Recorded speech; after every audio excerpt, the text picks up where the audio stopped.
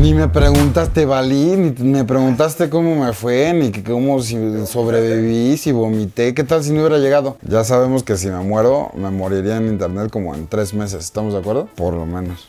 Bueno, muchachos, ya lo vieron en el título y probablemente ya lo vieron en video. El escorpión dorado se convirtió en piloto de acrobacia. Sí. ¡A huevo! Give me one. Primera vuelta de cabeza.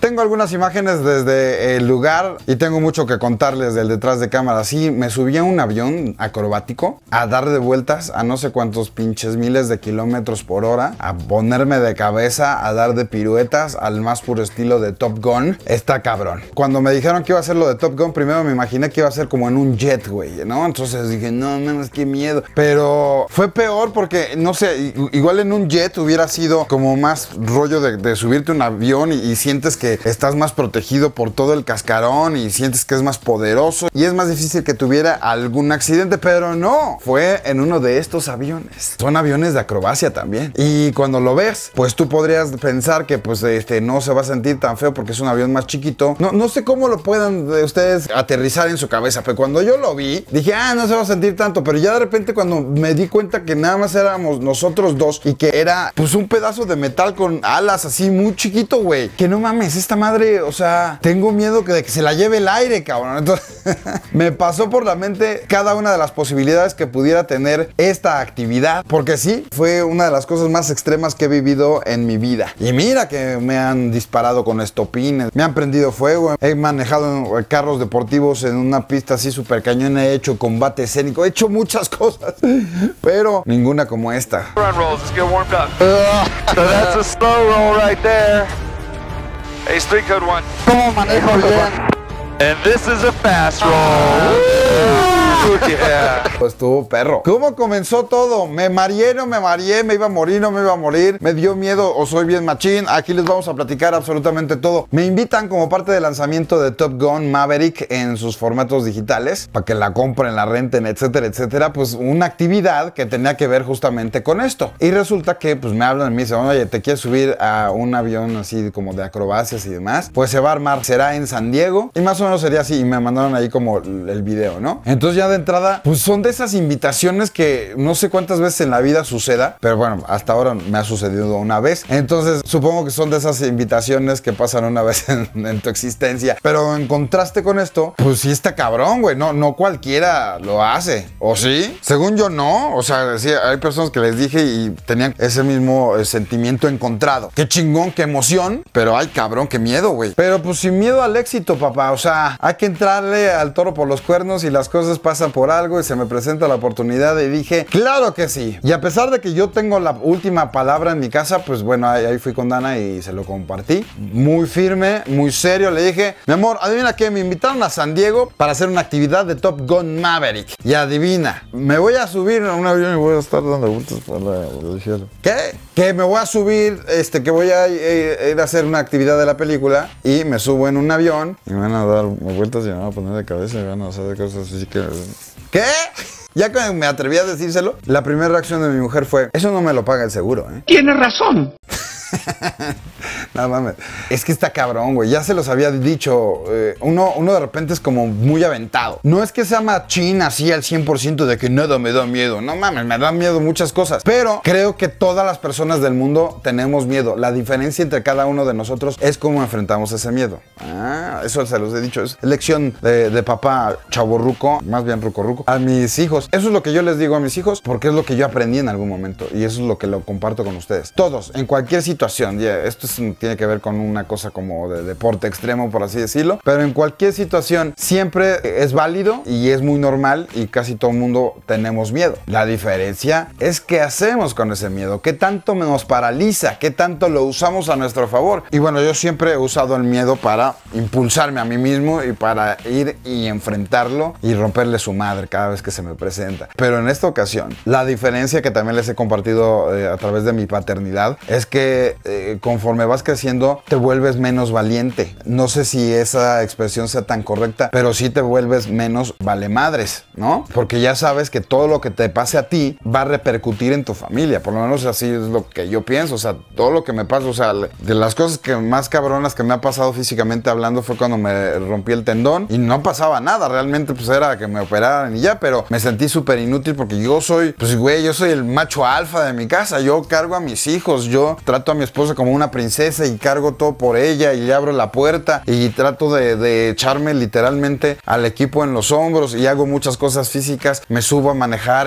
la camioneta para grabar muchos videos, juego fútbol, hago muchas cosas físicas. El punto es que cuando me pasó eso me sentí de la chingada, me sentí súper frustrado y bueno, es como una pequeña probadita de cuando tienes que depender de los demás y cuando no puedes ser tú en tu vida normal. Perdón por desviarme un poquito, pero el punto es que todo lo que me pase a mí le va a afectar a mi familia. Ese es el punto, eso es lo que quiero comentarles. Entonces, pues sí lo vas pensando y ya te empiezan a decir más o menos cómo va a ser y, ya te empiezas a convencer también a ti mismo. Hay un seguro también que, que cubre, no sé qué tanto cubra, pero de que hay un seguro, hay un seguro. Es una empresa que se dedica a hacer eso. No es como que ah, se les ocurrió armar algo. Inclusive cuando nos estaban dando algunas indicaciones de seguridad, como el paracaídas, ¿no? Cómo se accionaba y además dice, güey, mis tantos años de, de estar manejando esto, jamás lo hemos usado, ¿no? ¿Servirá los paracaídas? Ahora me pregunto. Pero bueno, no, qué bueno que no pensé eso en ese momento. El punto es que me, empezó a dar confianza. Y ya de entrada les platico como muy rapidito el detrás de cámaras porque también tiene su chiste. Digamos que el contexto, yo me iba a ir de vacaciones y siguieron mis historias en los últimos días, en las últimas semanas. Me fui de vacaciones a varios parques allá en Orlando. Eh, me la pasé poca madre. Estuve con mis chamacos y demás. Y, me ayudó, güey. Ahora que lo menciono, sí me ayudó muchísimo estar en los parques de diversiones porque justamente llevé a mis dos hijos en una edad,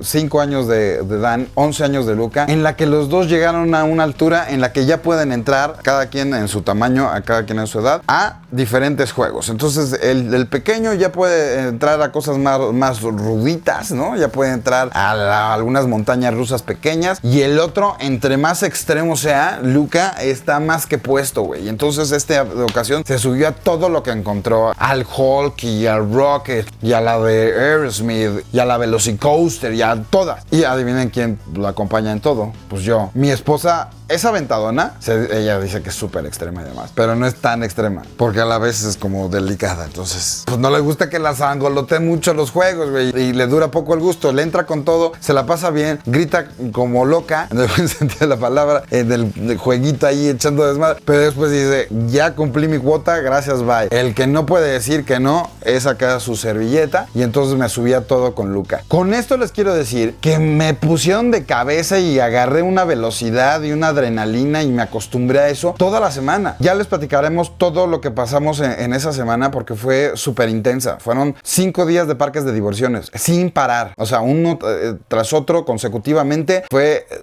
súper extremo y me cansé cabrón. El punto es que eso me ayudó para que ya en el video, sin contarlo cronológicamente, en el video ya subido en el avión, puta, se siente cabroncísimo. Pero ninguna sensación más que el vértigo y el hecho de que pues, no estás agarrado a nada, ¿no? El avioncito no está agarrado a un riel y, está automatizado y mecanizado para que fuera del trayecto este que hace una montaña rusa, regresas sano y salvo. Aquí es un avión y estás confiando plenamente en el piloto que traes y lo que pueda salir o no mal, güey, y estás en el aire y que Dios te bendiga. Ahí sí ya valió pilín. Ya les dije también dos elementos. La actividad era en San Diego y yo estaba en Orlando, ¿no? Entonces tuve que cruzar todo el país, todo Estados Unidos, para llegar. Estaba con mis hijos y mi esposa y se encimaba, digamos que el día de trayecto. Entonces, pues bueno, ahí la gente de Paramount hizo magia y logramos eh, sacar los vuelos para que pues nos fuéramos en bolita todos hacia ciudad do- donde iba a ser el evento. Desde la mañana te levantan y ya, ya sabes, ¿no? Empiezas como con todo el esfuerzo y toda la gente que está detrás de este desmadre. Dices, güey, que no salga nada mal. Y yo saber que,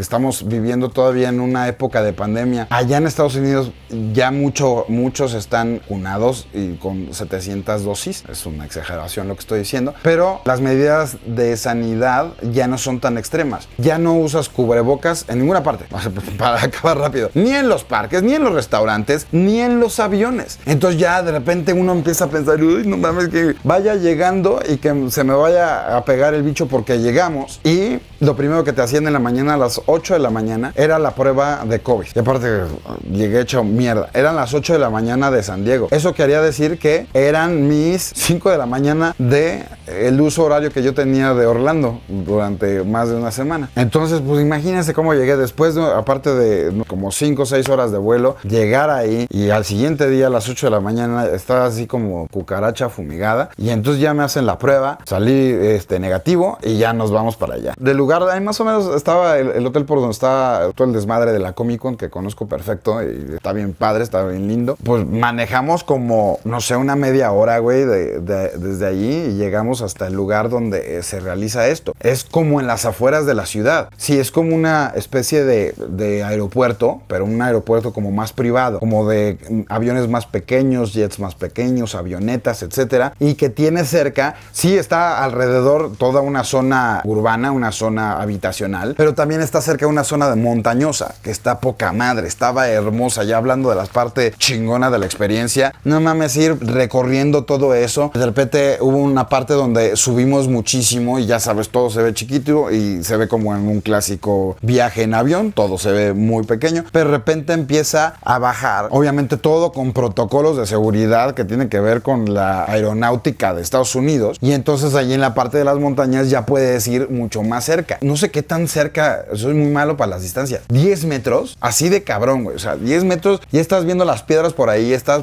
pasando entre las montañas, un poco emulando lo de la película. Poca madre, güey. Entonces sí te sientes en Top Gun, sí te sientes ahí. Un paisaje hermoso, muy, muy chido. Yo grabé unas partes con mi celular antes de despegar y después estaba un crew ahí grabándote antes, eh, cuando te estaba subiendo y adentro ya como tal del avión mm, alcancé a ver, según yo nada más son dos GoPros. Una que estaba en el ala y otra que estaba directamente de frente justo en, en el vidrio, digamos, este vidrio grandote. Cuando me invitaron, pues uno se empieza a imaginar cómo serían las cosas. A diferencia de los pilotos de guerra como tal, pues el casco, la comunicación y la respiración es totalmente distinta, ¿no? Entonces, pues bueno, eh, si, si, ustedes se dan cuenta en la película, los cascos son súper grandes porque obviamente pues están hechos para protegerse en caso de darse un súper chingadazo. Además que tienen lentes para que ningún reflejo del sol vaya a obstruir su vista y además tienen un respirador que hace justamente eso, que, que, sigan oxigenando bien. Y entonces pues están todos tapados, güey. Aquí está curioso porque eh,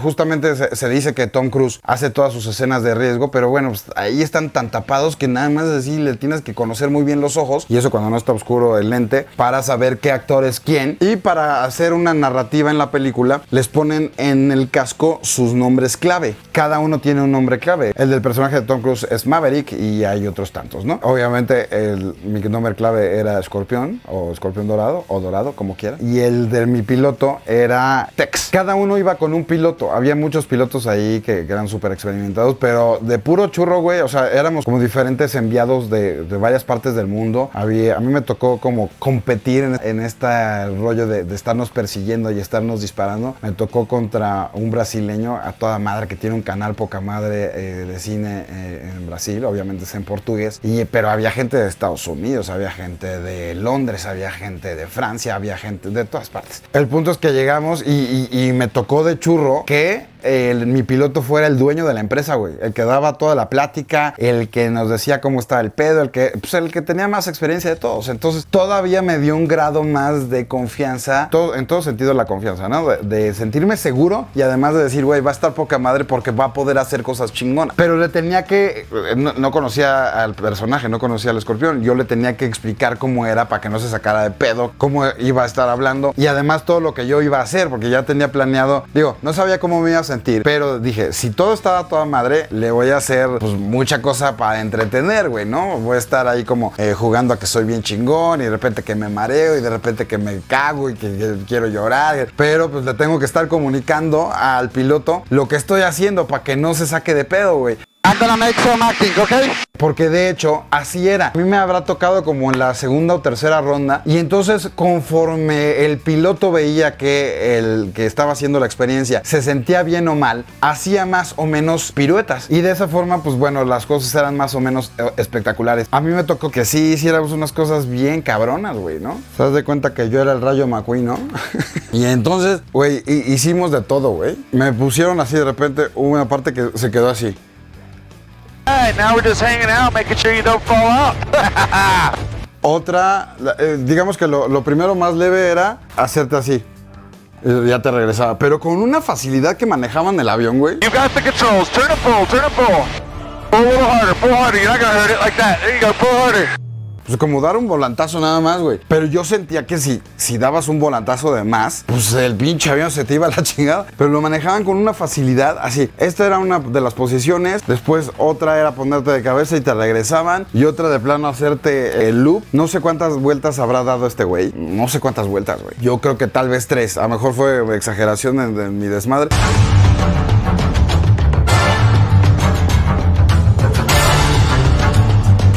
También esta, güey. A la chingada, no mames. All right, we're gonna go a little underneath him here. Now we're gonna do a loop and try to get behind him. Pull straight back, pull straight back. Pull a little harder. There you go. Nice move, nice move.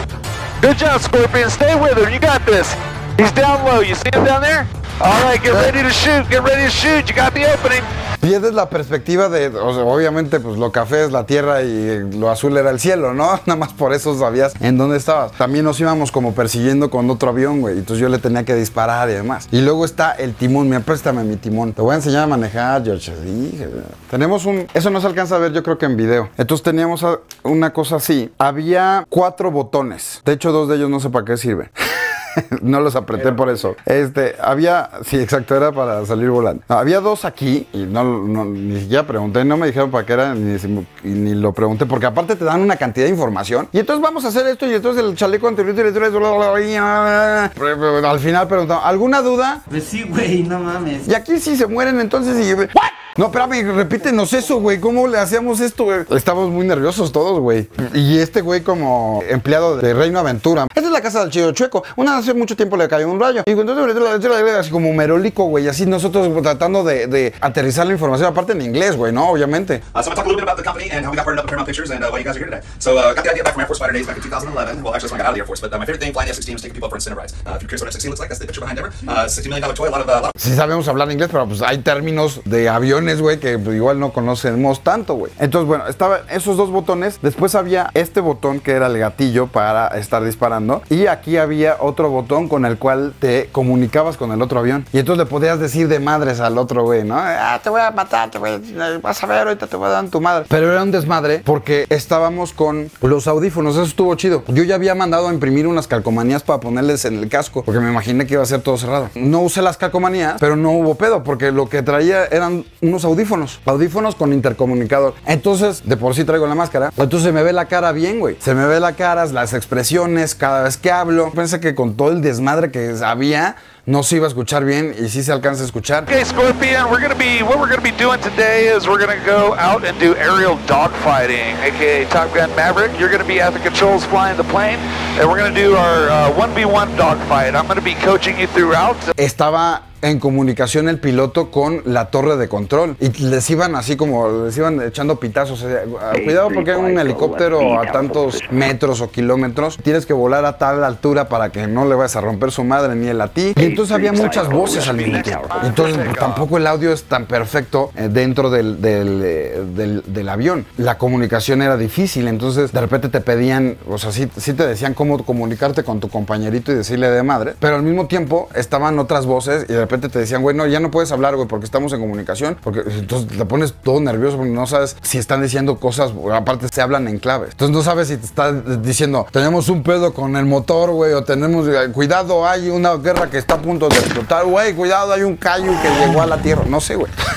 te imaginas todo. Please don't talk on the radio by pushing the button until we are on our own frequency. I'll, I'll tell you when we are. Right now we're talking to air traffic control. ¿Cómo se maneja? Hacia adelante. Si hago hacia adelante, así, ¿qué, qué pasa? Pues avanzas.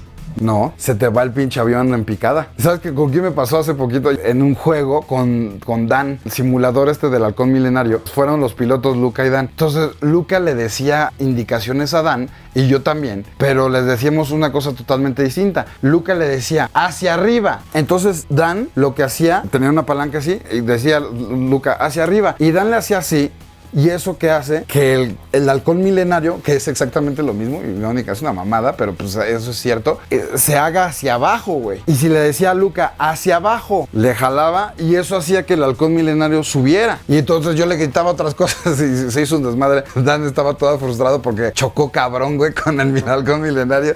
Y estaba todo como, pues no enojado, pero sí sacado de pedo de que decían, pues no sabe si es real o no, qué tan real sea, o si está mal lo que hizo y pues no pasa de ahí. Pero así se maneja, mi George. ¿Tú lo sabías? Nada más, es una sola palanca. No tienes nada más que agarrar. Si la haces así, el avión va en picada. Si le jalas, el avión va en subida. ¿Cómo le haces vuelta a la derecha y vuelta a la izquierda? Yo diría que normal, ¿no? No. Si le haces así, el avión hace esto. A la verga. Si le haces así, el avión hace esto. Hay dos pedales, cabrón. Como que los pedales manejan el. ¿Cómo le decimos? No, no me. Perdón si no me sé los nombres, güey. Pero digamos que la aleta. Nombres estúpidos, ¿eh? La aleta del avión hasta atrás hace que la, la aleta sea controlada para que entonces tú con los pedales, si le haces a la derecha, son unos pedales que están como conectados. Entonces si le haces a la derecha, ahora sí da vuelta a la derecha. Y si le haces a la izquierda, ahora sí da vuelta a la izquierda. Con los pedales ya te das para allá o ya te vas para acá. Entonces tienes que coordinar, cabrón. O sea, todo eso, pues, seguramente pues, para quien lo hace es bien fácil, güey. Pero no, no es lo mismo si le haces para acá que dar vuelta a dar una vuelta, güey, ¿no? Eh, Estaba muy nervioso. ¿Y qué disparaba? ¿Te soy sincero o guardamos la ficción? Si te soy sincero, yo creo que nos aplicaron el ten el control desconectado y se comunicaban entre ellos y tú más o menos los calculabas, le disparabas y le salía humo al avión de enfrente al que le estabas disparando. ¿Cómo? Pues le decía así literal, eh, echa humo, echa humo, ¿no? ah, ya disparó el pendejo, está es como que te dio. Entonces ya activaba el humo y le salía humo. Y entonces tú decías, ah huevo, le di. Negative smoke. Right turn. Oh, you got the smoke now. All right. Yo veía que muchos estaban, o sea, yo no sé si todos nos estábamos haciendo súper pendejos, de que, ah, ¿quién ganó? ¿Quién no ganó? Porque se trataba que eh, eran dos de tres los tiros, ¿no? Y entonces yo le gané a mi competidor y le di dos y él me dio uno.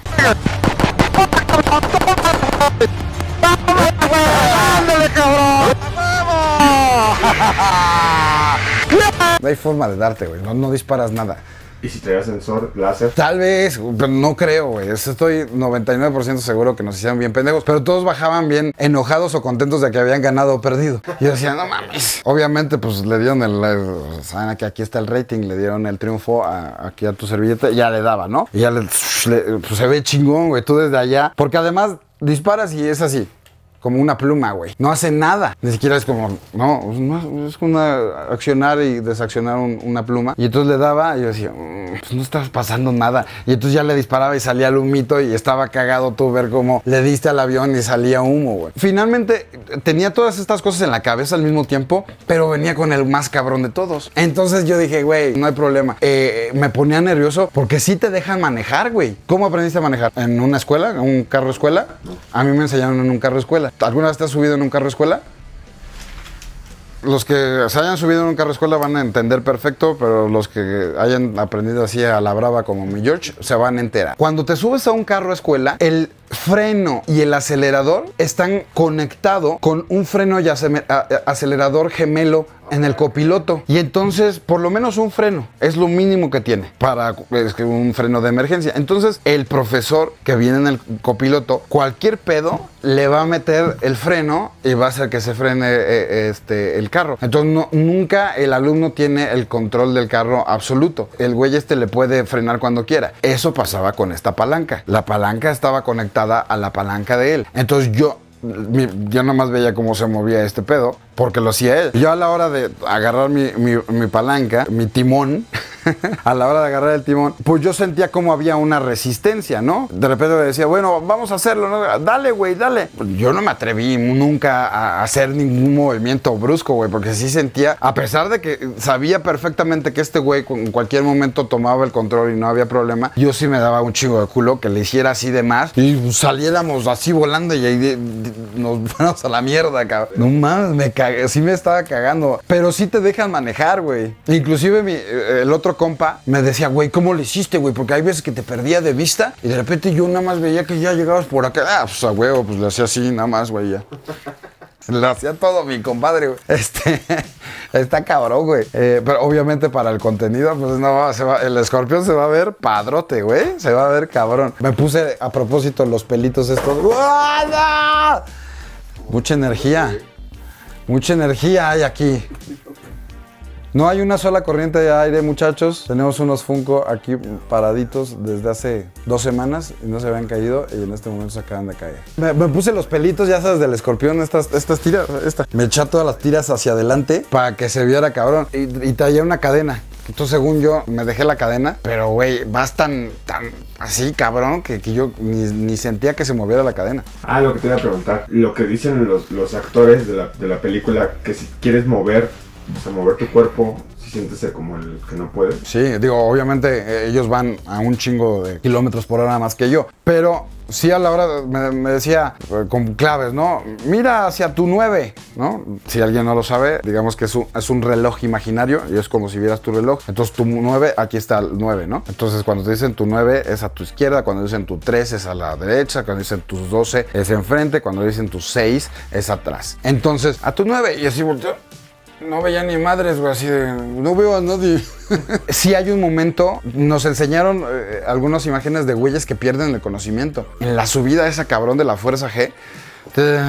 Eso te pasa, no sé si te haya pasado a ti, pero seguramente a mucha gente. En los aviones. ¿Nunca te pasa que específicamente en el despegue te duermes? A un chingo de gente le pasa. Por eso. Es súper sutil, ¿no?